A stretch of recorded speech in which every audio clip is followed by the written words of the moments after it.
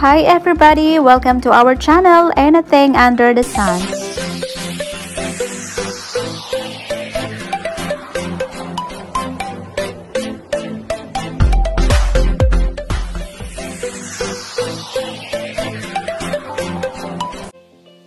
How to set online appointment for Philippine passport renewal in Philippine Embassy, Canada using mobile phone. And here is the email I received.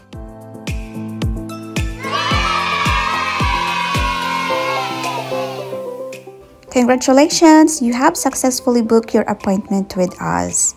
And below are the details of my appointment and it says here to come to embassy not earlier than 10 minutes before my appointment time. Hi guys, today is the day. Here I come. Philippine Embassy, Ottawa, Canada.